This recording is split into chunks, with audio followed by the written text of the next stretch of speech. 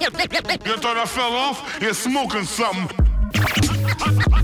Hello and welcome to Lad Reviews. I'm Marcus J. Richardson. Carl Golder. Today we're doing Lidl's Bakery. Bakery time. It's first thing in the morning, as you can probably tell. So we've decided to get some brekkie. First of all, Lidl Bakery, Golder, tell us, what do you think? Well organised pastry selection. Fresh Fresh produce. and it's cheap. And it's cooked in store. What we've gone for is a couple of cinnamon swirl swirl Bakery. and a couple of chocolate donuts. Now the cinnamon swirls are two for a quid. And they are substantial. These are a pound each at oh, R&Ds. Tesco's and other places. Now don't put them on top of each other like that because you oh. will maybe lose some of the cinnamonness. Quite thick, aren't they? Yeah. Let's have a taste, shall we? Yeah. Doughy. Oh, ah, the cinema's on the bottom, is it? No, inside you wanker. Alright. Nice, so. How much are they? Two for a quid. Which is 50p each. Good maths. Thank you. Well, I mean, it tastes like what it says it is. Cinnamonish. Cinnamonish. Yeah. That what country it's from? Tastes good. Good value for money. Breakfast is served. We haven't finished yet. Back to back pastry. Is this a pastry? It's a yep. It's Go down as a pastry? a doughy. If you go and get like a Krispy Kreme, you're looking at 130. These are 29p each. Bargs. In my past experience, you can start eating Golder. In my past experience, mate. It's alright. I'm just getting bored of your fucking shit. in, in my past experience, these are very good donuts. Mm, mm. Mm, mm. That's 29p's worth without a shadow. I mean, the whole point of this is a Lidl bakery we're reviewing. Donuts, your sweet pastries, your croissants, pan au chocolat, fresh breads, muffin tops, tiger loaves. Oven bottoms, barm cakes, baps, bread rolls, all really cheap and affordable. And right when you walk in, These are good. These Yeah. are good. Ebenezer good, yeah. All in all, I'm pretty happy about it. Lidl's Bakery, up there with what's another good bakery.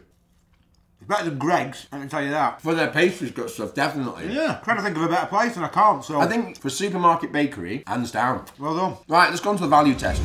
So, the value test. Okay, let's start with V. V for the, the, the, the, variety. Variety is one thing that they have in abundance. Yeah, so I would, I'm going to say 10. I'm going to give it 10 because we've not come across one similar. A, affordability. Again, for the for the pastriness of stuff. The only way I'd, I'd not give it 10 is I've eaten cheaper pastry in other countries. Right, well, we're in England, aren't we? I know, but let's just give it 9 because it's Okay, let's it's, give it nine. It's I up was going to give it nine anyway. I think It's not perfect, so No, we'll, we'll give it nine. is. Lifespan, bread in it. It's bready stuff. Yeah, but uh, But you can freeze it. So let's give that a seven though. It's as good as anywhere else. Those Yeah. you know, your donuts will probably last you four weeks with the shit that's in there. Usability and effort. Now, usability, it's easy to get to. I mean, I know you say you like to use your fingers. I'm a finger man. Your- I don't even use a bag. Your fingers, I'm Tom. I'm straight in the basket with my hand. in fact, you're the sort of person who squishes it, and if you're not happy with it, you put, Put it back, yeah. yeah. I'm the kind of guy that eats it on the way round, so he Yeah. doesn't pay for it at the end. Yeah. We can't condone that and pay for it at the end. Oh, we did pay for it this time. We did actually because we needed to review it. Oh, I would have eaten it. Usability of effort, what should we say? Eight? Yeah, it is. It's an eight. Downsides, there's downsides. Now I do have a couple. What a surprise. Say, uh, if you go to the bakery at say 7 p.m., it's fuck all there.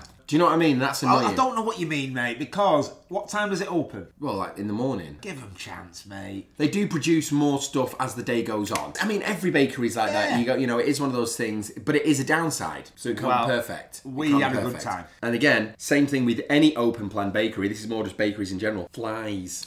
Right. Well, they could have a little flap, couldn't Yeah, they? cut a Lidl net thing. Flap, let, flap net, yeah. I'm not asked about a fly or two, mate. If I've not seen it, I'm going to knock that down personally. I'm going to say to a seven. yeah, I agree with that, mate. To be fair, it could do with a, a netted flap. I reckon that's averaging it out around about eight and a half, nine for the whole thing. I you know, you're right. This is one of our biggest scores to date, and we're going to give the little bakery Eight and a half, nearly nine out of ten. nine out of ten. Ten. Well done, Golder.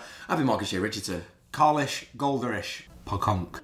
You thought I fell off? You're smoking something. Damn.